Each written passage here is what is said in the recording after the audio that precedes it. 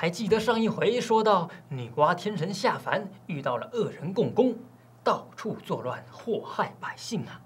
慈悲爱民的女娲情迫无奈，为了挽救众生，只得跟共工打上一场大战，那是惊天动地，风生水起呀！这里头到底还有什么惊奇的事儿呢？这女娲和共工到底又是谁胜谁败呢？各位就请接着看下去吧。水淹大地变汪洋，原氏共工逞豪强，独霸北方空桑地，南侵中原百姓荒。女娲爱民显慈悲，火神助阵破汪洋，造人补天尽威德，神机神话永传扬。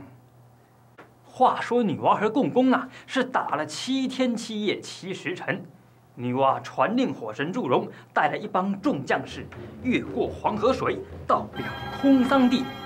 一看，共工的人马那是浩浩荡荡，雄兵百万，战将千员，个个是杀气腾腾啊！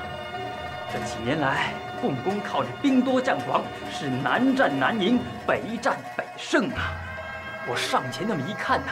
那领头的共工是一副呲牙咧嘴，手中握着一把狼牙榆木棒，往空中那么一抛，施展他的法术，口中念念有词。不到一会儿呀，那是天色大变，雷雨交加，风云密布。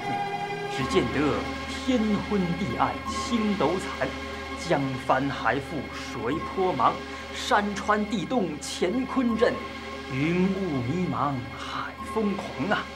那边又轰的一声，只听见苍子啷当，天鼓雷鸣争暴斗，咕嘟隆咚，滚滚声响震苍穹，赤的嘎嘎，鱼龙河虾翻波浪，赤的啪啪，水花乱溅似飞蝗，人呐喊是马咆哮，雷声震是号悲凉，金蛇乱窜，蛟龙沉底，火鸟纷飞，那真是阴云滚滚，日无光啊！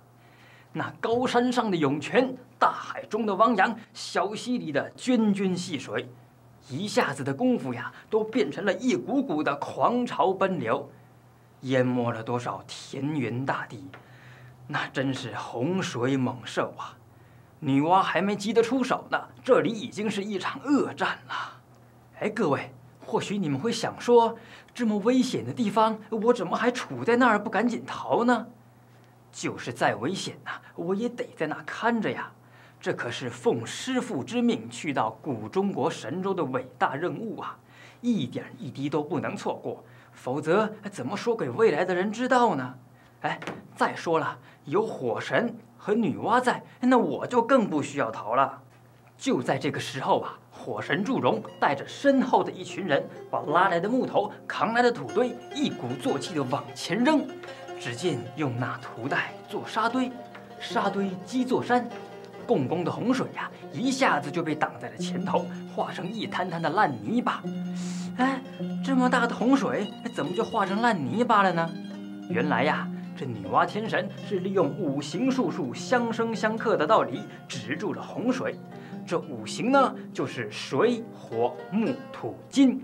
正所谓金克木，木克土，土克水，水克火，火克金。这土带沙堆一出击呀，就兵来将挡，水来土掩，以土克水也。共工一看呐，那所有的大水都变成了烂泥巴，自己正处在败势呢。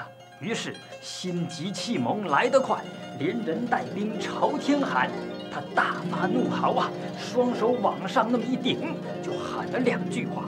他说呀：“九州山河听我言，惊破天门下洪玄。”共工啊，终于使出了他的绝招“天河似洪玄”。他这么一喊呐，可就不得了了。只见那天顶云端开了一个大水口，那是天河似洪直下灌，地上的人人头乱钻。